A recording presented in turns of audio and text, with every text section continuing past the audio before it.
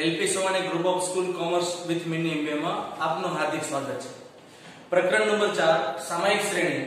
આની અંદર મુખ્ય આપણે બે પદ્ધતિઓ જોઈએ. એક આપણે જોઈ ન્યૂનતમ વર્ગોની રીત અને બીજી આપણે જોઈ સરેરાશ વર્ષની રીત. એની અંદર ત્રણ પદ્ધતિ હતી. ત્રણ વર્ષીય સરેરાશ, ચાર વર્ષીય સરેરાશ અને પાંચ વર્ષીય સરેરાશ. તમામ પ્રકારના દાખલાઓ આપણે જોઈ લીધા છે આગળના વિડિયો લેક્ચરની અંદર. આ વિડિયો લેક્ચરની અંદર સ્વાધ્યાય 4 નો અભ્યાસ કરવાનો છે. બધી જ રીતો ભેગી, બધી રીતનો એક એક દાખલો હું તમને કરાવું, એટલે બધી રીતનો એક વખત રિવિઝન થઈ જાય. બાકીના જેટલા પણ દાખલાઓ બાકી રહી છે, એનું તમારે જાતે પ્રેક્ટિસ કરવાની છે, અને એમાં કોઈ તમને તકલીફ હોય તો તમે જાણ કરી શકો ચાલો, તો સ્વાધ્યાય 4 ની અંદર વિભાગ E ની અંદર પેલો દાખલો. પહેલા દાખલાની અંદર આપણને બે વસ્તુ આપી છે કંપનીના. કંપનીના વર્ષ પ્રમાણે એની નિકાસ. કે 2010 ની અંદર 22 નિકાસ હતી 2011 માં 25 એવી રીતે 2015 માં 25 તો અનુમાન કરવાનું છે. કેવી રીતે અનુમાન કરવાનું છે? વલણની કિંમત શોધીને. કયા વર્ષનું અનુમાન કરવાનું છે? તો કે 2017 જો 2015 સુધીના આંકડા આપ્યા છે 2017 નું અનુમાન કરવાનું છે. તો ચાલો, એ અનુમાન કેવી રીતે કરવું? એના માટે પદ્ધતિ નંબર 2 અને એ આપણી પદ્ધતિ છે ન્યૂનતમ વર્ગોની રીત. ન્યૂનતમ વર્ગોની રીત માટે આપણને વિદ્યાર્થી મિત્રો, સૂત્ર આવડવા ખૂબ જ જરૂરી છે. જુઓ, ફરીથી યાદ કરી લઈએ. કઈ કઈ વસ્તુ મેળવવાની છે? પહેલા મેળવવાનું છે y બાર પછી મેળવવાનો છે t બાર, પછી મેળવવાનો છે b, પછી મેળવવાનો છે a અને પછી મેળવવાનો છે y કેપ t.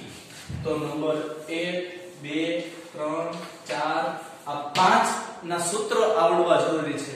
આ સૂત્ર આવડતા હોય તો આપણને દાખલો આવડે.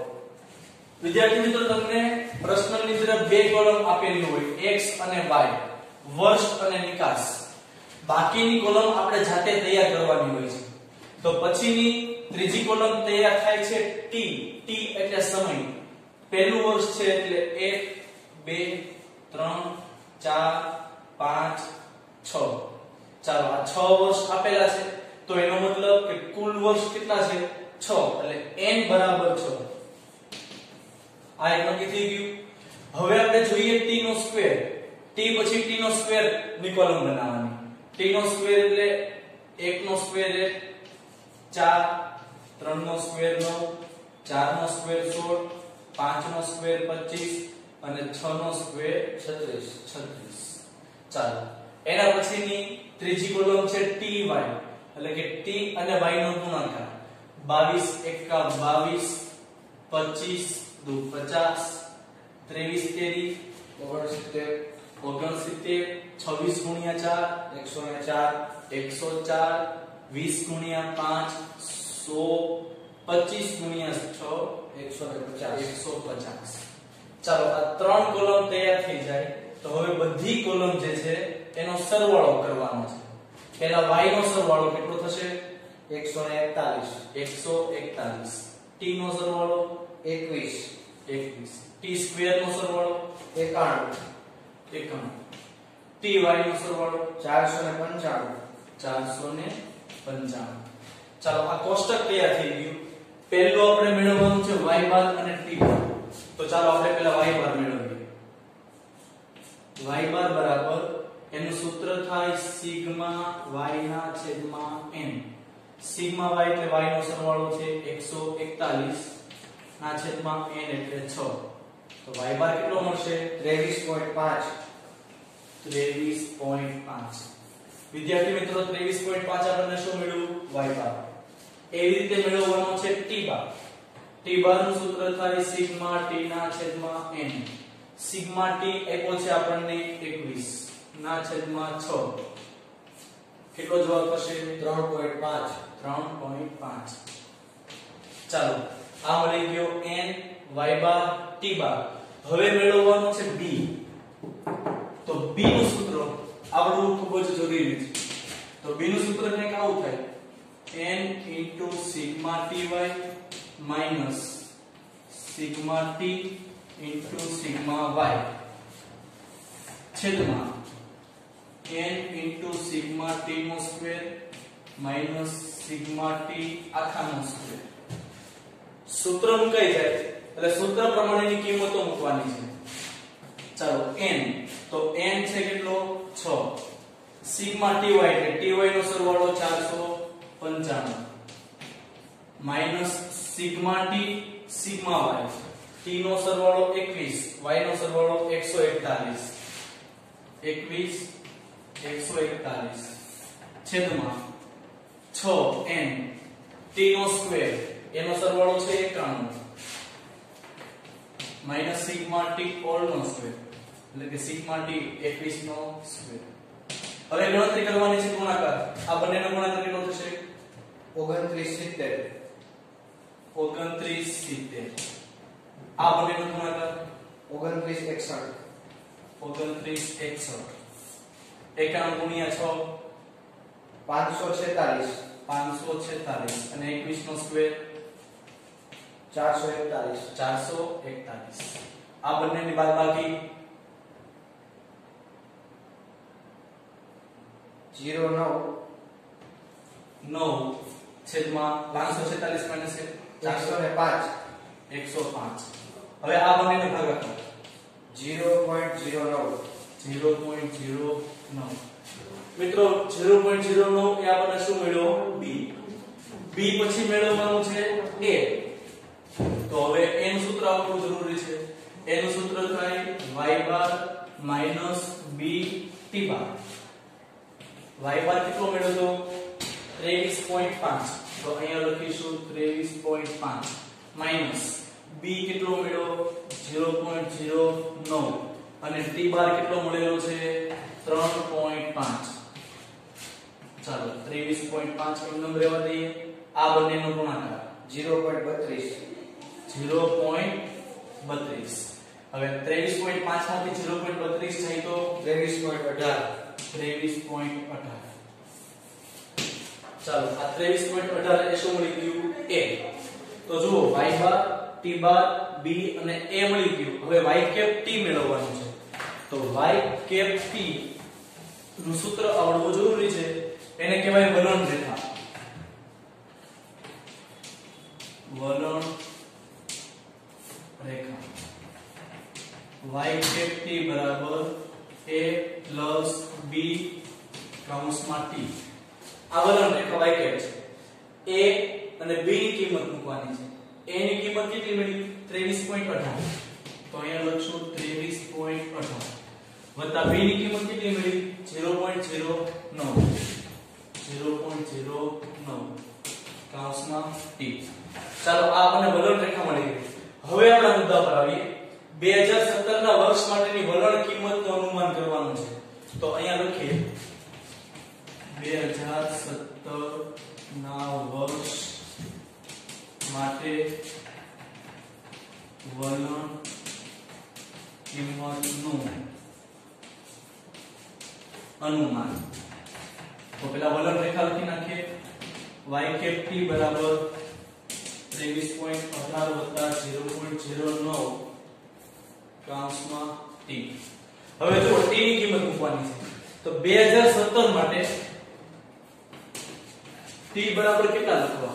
તો જુઓ 2015 માટે કેટલા હતા? 6 તો 16 માટે 7 તો 17 માટે કેટલા થાય? 8 તો અહીંયા આપણે 2017 માટે t બરાબર લેશું 8 આ t ની કિંમત અહીંયા મૂકવાની છે. 23.18 0.09 કૌંસમાં 8 હવે આ બંનેનો ગુણાકાર કરવાનો. કેટલો થશે? જીરો પોઈન્ટ બોતેર. 0.72 આ બંનેનો સરવાળો કરવાનો. ત્રેવીસ પોઈન્ટ નેવું કરોડ. 23.90 કરોડ. ચાલો તો જુઓ આ 2017 માટે કેટલી નિકાસ કરી હશે? 23.90 કરોડની. અહીંયા જો 2015 માં 25 કરોડની હતી. તો 2016 પછી 17 માં કેટલી નિકાસ થઈ 23.90 કરોડ. ચાલો, તો હવે બીજી પદ્ધતિ જોઈએ. ચલિત સરેરાશની રીત પદ્ધતિ નંબર 2 તો ચલિત સરેરાશની અંદર ત્રણ પદ્ધતિ છે. આપણને ખ્યાલ છે. નંબર 1 ત્રણ વર્ષીય ચાર વર્ષીય અને પાંચ વર્ષીય.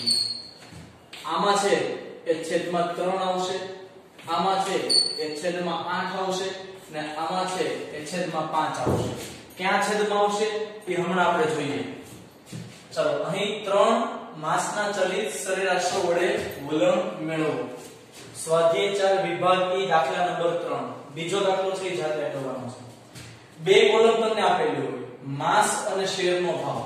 April, May, June, July, August, September, October, November, December અને જાન્યુઆરી સુધી તમને શેરના ભાવ આપેલા છે. જુઓ, ક્રમશઃ શેરનો ભાવ છે ને, એ ઘટતો જાય છે. 76 હતો અને જાન્યુઆરીમાં કેટલો થઈ ગયો? 66 ત્રીજી કોલમ બનાવવાની છે ટી, એટલે કે સમય. 1 2 3 4 5 6 7 8 9 10 ચલિત સરેરાશનો સરવાળો. ત્રણ વર્ષીય હોય, એટલે ઉપરની એક લાઈન અને નીચેની એક લાઈન છોડી દેવાની છે. હવે શું કરવાનું?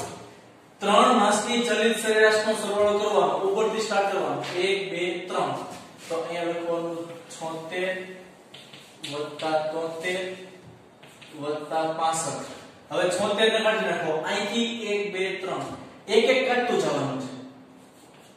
73 વત્તા 65 વત્તા 68 65 વત્તા 68 વત્તા 67 68 વત્તા 67 વત્તા સાઠ સડસઠ વત્તા સાઠ વત્તા 63 60 વત્તા 63 વત્તા 67 63 વત્તા 67 વત્તા 65 67 વત્તા 65 વત્તા 66 એક એક છોડીને ત્રણ વર્ષના સરવાળા કરી. નાખ્યા હવે આ બધાયના સરવાળા કરવાના છે.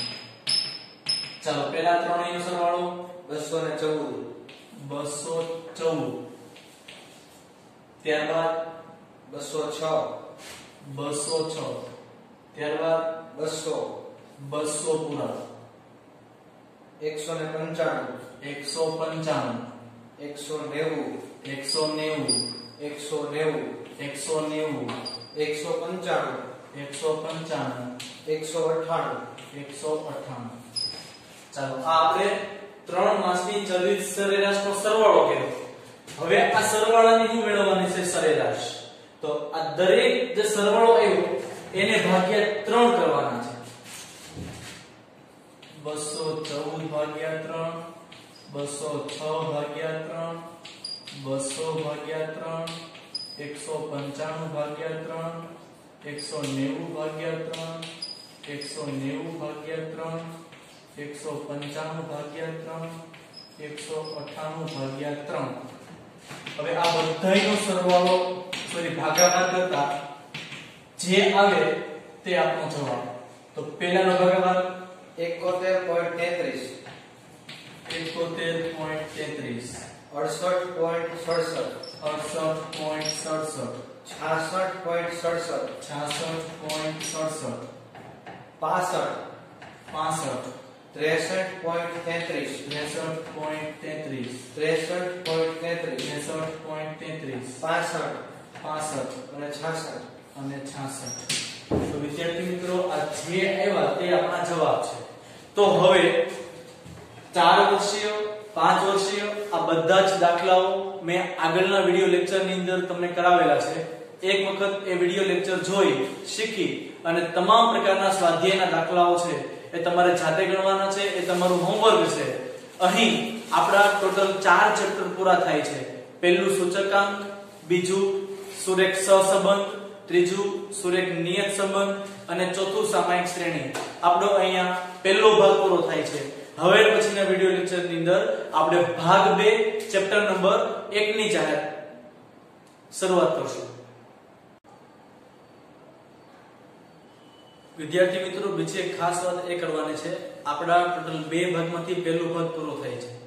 હજી ગઈકાલે જ કોવિડ 19 ની પરિસ્થિતિને કારણે ગુજરાત સરકારે એક મહત્વપૂર્ણ નિર્ણય લીધો ધોરણ દસ અને 12 ના વિદ્યાર્થીઓ માટે, કે ટોટલ 30% અભ્યાસક્રમ પૂછાવાનો નથી 70% પૂછાવાનો છે.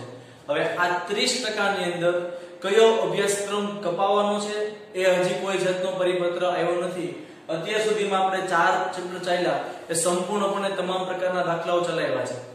હવે કેટલો અભ્યાસક્રમ કટ થાય છે, એ પરિપત્ર આવ્યા બાદ તમને જાણ કરવામાં આવશે